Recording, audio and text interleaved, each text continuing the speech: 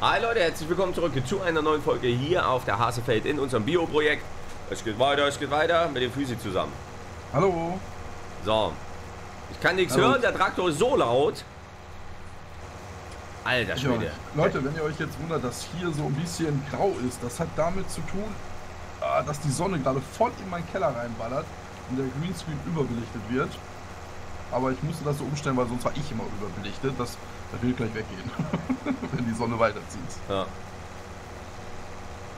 Ja. Wo waren wir denn stehen geblieben? Genau, ich habe Gülle gemacht. Genau, der Helfer muss aufgetankt werden. Wir haben kein Saatgut mehr. Ich muss jetzt hier mal rauszoomen, ey, weil der Traktor ist so laut. Ja, dann mach ich auch mal. Der haut mir die Löffel weg hier, ey. Das ist nicht normal. Der IHC. So, ich mir jetzt mal, ich mach's jetzt doch mal anders. Ich, äh, das ist zwar nicht ganz so, wie es sein sollte, das ist schon klar. Aber dass wir jetzt wirklich erstmal vorankommen äh, und hier das Gras nutzen können, ähm, mache ich jetzt das jetzt mal mit der Mähkombination hinten dran. Das ist zwar verkehrt rum in dem Sinne und eigentlich auch nicht Sinn und Zweck der Sache, weil man von dem Räder erst alles Blatt fährt, bevor man es mäht, aber naja. Da wir keinen Frontlader jetzt aktuell haben oder keinen mit Fronthydraulik frei haben, Voll auch rückwärts. ja, der hat keine Rückfahreinrichtung. Oder? Hat er eine Rückfahreinrichtung? Nee, Ja, ja. Keine Rückfahreinrichtung.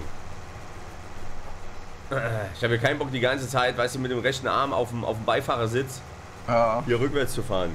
Ja. So machen das nämlich die coolen. Weißt du, wenn du mal den Arm so auf dem Beifahrersitz legst und dich dann so halb verrenkst. Beim Rückwärtsfahren. Achso, nee, warte mal. Okay. Hast ja keinen Rückwärtsgang.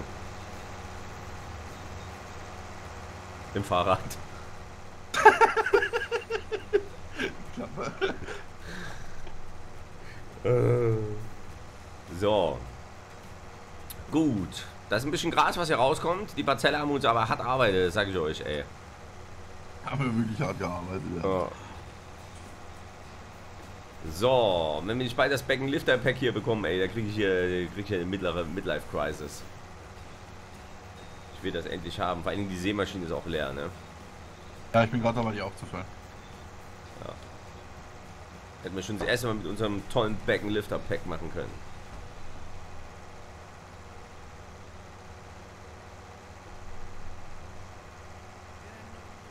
Mhm. So. Sonntag früh um halb elf ist es. Ja. Naja, fast Mittag. Bei mir gibt es heute Ende beim Mittag. Die Oma hat gekocht. Ich hab's äh, gestern gehört und da war ich schon ein bisschen neidisch. Das ist schon geil, oder? Ende? Ja, Ente ist echt geil, ja. Gab's auch echt lange nicht. Ah, die Oma, die ist da sowieso, äh, ja, irre. Total irre. Weil die holt ihre Enten hier vom, also das sind ja keine Supermarktenten, was sie holt. Das habe ich mir, aber kann, konnte ich mir schon gut bei euch vorstellen, ja. Ey, hast du mal eine Ente gekauft? Also da, da, da fällst du in Unmacht, gell? Äh, nee, gekauft äh, noch nicht. Also ich selber noch nicht. Auf Weihnachten hatte die ähm, Schwester von meiner Freundin Ente gemacht. Da haben wir gegessen. Aber keine Ahnung, wie teuer ist denn so eine Ente? Ich glaube... Also ich bin mir jetzt nicht ganz sicher, ich glaube, die hat für die Ente 70 Euro bezahlt. Ja,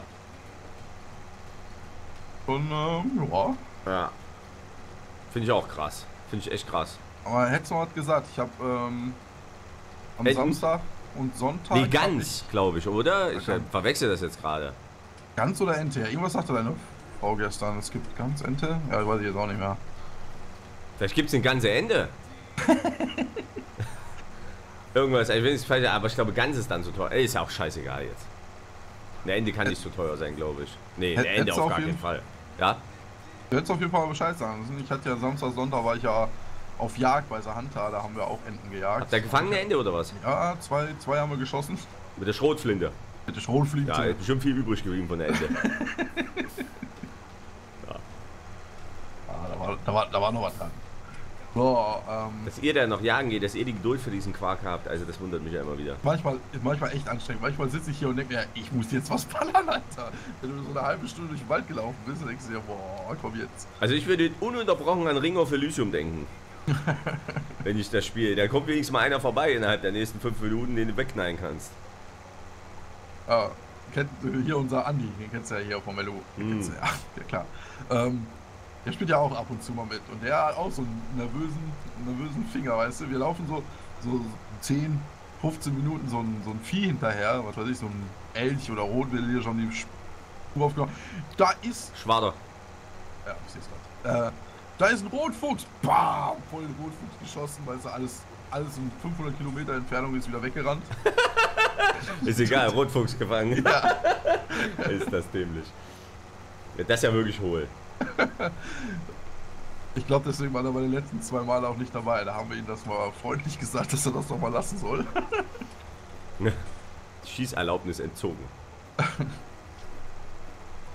Ja, ist natürlich kacke, wenn du eine Viertelstunde sind da so ein Vieh hinterher rennst und äh, ja, bist ja voll am, am Spuren und Pferden lesen und dann auf einmal ballert einer hier wild um sich wie John J. Rambo. Ja. Das macht natürlich wenig Sinn, ja.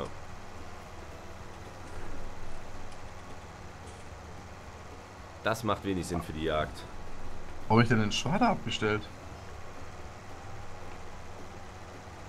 Ach da. Hast du? ihn? Ja. Sehr gut.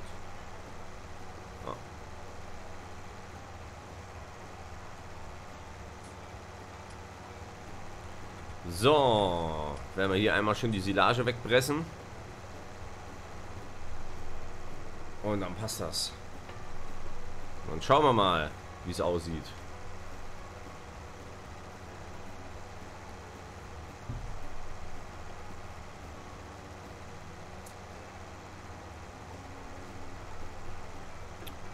Was hast du gestern gestreamt?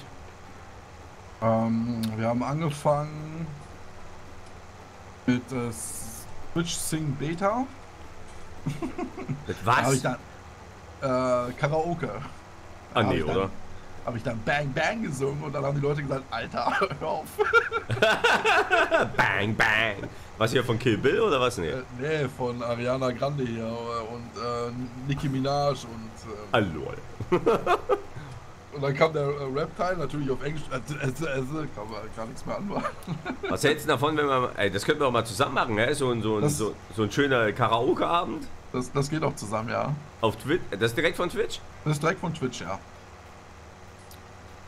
Das in Verbindung mit einem Trinkspiel könnte äh, äußerst, Ja. könnte zu äußerst äh, interessanten äh, ähm, Highlights äh, des Monats führen. Ja, und dann habe ich auf äh, Subnautica durch äh, angemacht. Und dann haben wir mal eben in, in einer halben Stunde das äh, Early Access durchgemacht. Die Story ist jetzt erstmal durch, da muss ich jetzt auf Update warten. Wow. Steht dann auch da. Vielen Dank fürs Spielen der Early Access. Warten Sie auf Update, damit die Story weitergeht. Und du denkst, ja, moin, läuft das. Ja. ja. Und dann ähm, wollte ich Arno streamen, aber das ging nicht. Warum nicht? Weiß ich nicht. Also äh, bei mir alles flüssig, super gut. In OBS äh, stockend die ganze Zeit. Und ich denke, was ist das denn, ja? Aber ich dachte, gut, liegt vielleicht daran, dass ich kein Grafikkartentreiber-Update gemacht habe. Haben wir Grafikkartentreiber-Update gemacht und lief immer noch nicht. Hast du es in Fenstermodus oder irgendwie mal? Ich habe Vollbild gemacht. Okay. Vielleicht mal im Fenstermodus probiert. Ja.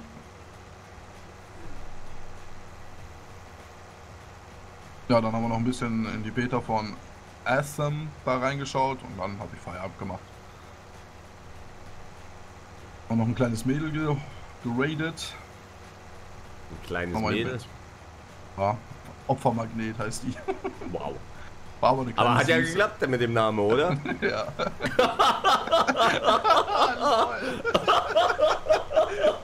Ist das geil?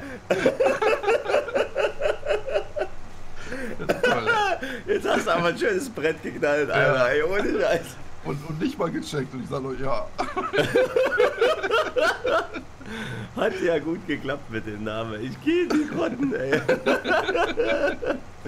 Opfermagnet, ey.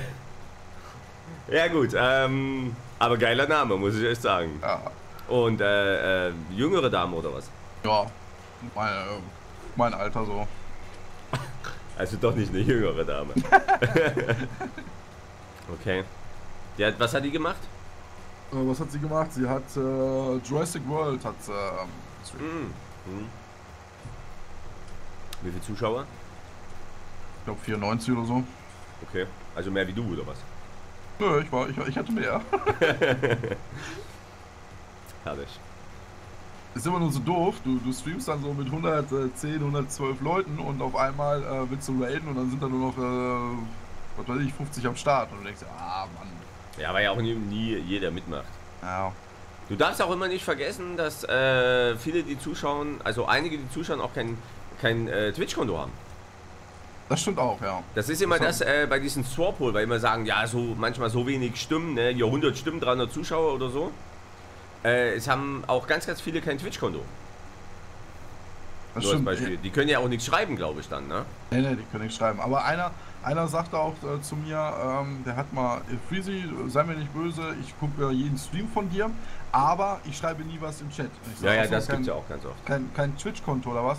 Nee, nee, doch, aber der zieht sich dann, äh, sagt er, äh, der hat dann den ähm, Fire TV Stick, zieht sich, äh, hat sich da die Twitch-App gezogen, legt sich auf ein Sofa und äh, gönnt sich den Stream so. Und hat den Chat gar nicht offen. Er hat das dann nur Vollbild und sieht dann nur mich Ja. und du? Ja, da gibt es tausend Möglichkeiten, wie Leute Streams schauen. Also das ist Ja. wirklich da. Ich habe nur einmal habe ich jemanden gesehen mit einem Viewerbot. Haben, ja, ich gucke ja manchmal ähm, bei anderen LS-Streamern so rein, ne, auch bei Ja. kleinen. Ja, guck, guck ich auch öfters, ja. Schmeiß da mal ein Hallo in die Runde und so. Und ähm, einmal habe ich welche gesehen, das waren glaube ich Österreicher, ich bin mir nicht mehr sicher. Keine Ahnung, ist auch völlig egal. Ähm, die haben, äh, ich weiß nicht, 90, 100 Zuschauer gehabt. Da hat aber überhaupt niemand geschrieben, außer ich. Und da habe ich mir dann mal die Zuschauernamen angeguckt, ne? Ja. Ja, naja. Da habe ich dann mal einen Chat geschrieben, warum sie einen Viewbot benutzen. Und da hat er tatsächlich eiskalt gesagt, ja, äh, wir wissen, dass wir halt einen Viewbot benutzen und so weiter, aber ähm, man hat ja sonst keine Chance, mal vielleicht ein bisschen Aufmerksamkeit zu kriegen und so weiter und so fort. Ich sag, ja gut, ich sag, ihr seid auf jeden Fall Fail des Jahrtausends. ja. Ja, weil ganz ehrlich, es ist, steht ganz klar in den Terms, dass du es nicht darfst. Ne? Weil das, Ja, du hast ja auch nicht vergessen, ein Viewbot tut dich am Ranking auch hoch. Ne? Ja, ja, klar. So, und das steht in den Twitch-Terms und wenn das einer mitkriegt, äh, ich will nicht wissen, wie oft schon ein Admin bei uns in den Streams war. Auch bei mir waren schon ein paar Mal welche. Ja, ja, da. bei mir sicherlich auch. Gerade hier LS19 Beginn mit 2.000, 3.000 Leuten gestreamt. ja, ja. Da schaut schon mal einer vorbei, ne? Auch bei 500 würde ich behaupten, schaut mal einer vorbei. Und ähm, äh, da geht's mal ganz schnell auf Wiedersehen mit einem Viewbot. So war. Hm. Ja, die merken das sofort, ne? Ich habe ja auch dann direkt. Natürlich äh, merken die den- das. Ich habe sofort den Typen da angeschrieben, der so, ja, es, es war sehr, ähm, sagt er, auffällig. Ich dachte, was war auffällig? Ja, du, du streamst mit 30, 40 Zuschauern und auf einmal ballert das hoch auf 500 bis 600 von heute auf morgen. Da mussten wir mal gucken, was da Sache ist. Ich sag so. Ja, ja. Das war äh, bei der, bei der Gamsting, Ja, wo wir den Ja, klar. Abschlussstream gemacht haben. ja. Naja, weil wir uns halt dann gegenseitig dort, ne? Das Ja. ist ganz klar. Ich meine, ich habe, glaube ich, mit 3000 gestreamt bei Gamsting. War doch der Abend, glaube ich, wo die 3000 erreicht wurden. Genau, ja, ja. Wer's? Naja, da machen die schon ein Auge, ne? So ist nicht.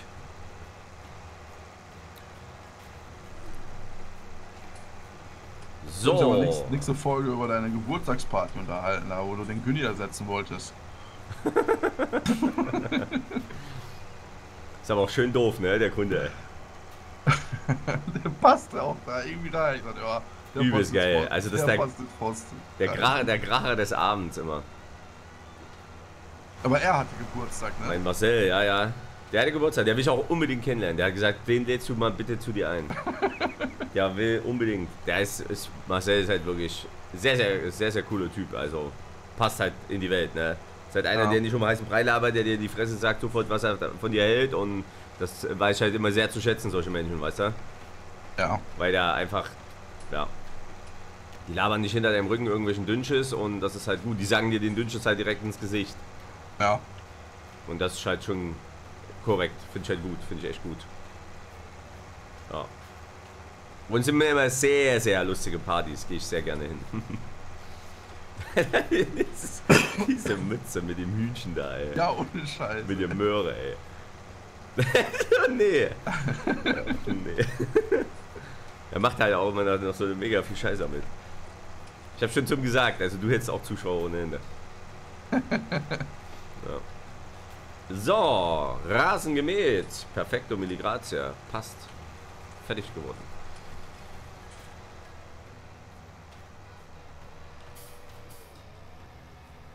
So. Gut, stellen wir das Mähwerk erstmal wieder ab. Für sie schwadert hier schön einen durch. Können wir direkt die Ballenpresse anschmeißen, hinterher ballern. Und dann geht das ab hier. Oder wir klettern erstmal den Zaun hoch. So, wir sind aber erstmal fertig, meine lieben Freunde. Danke fürs Zuschauen. Wir sehen uns natürlich in der nächsten Folge wieder. Lasst das Däumchen da und schaut auch das nächste Mal wieder rein. Bis dahin. Tschüss. Tschüss.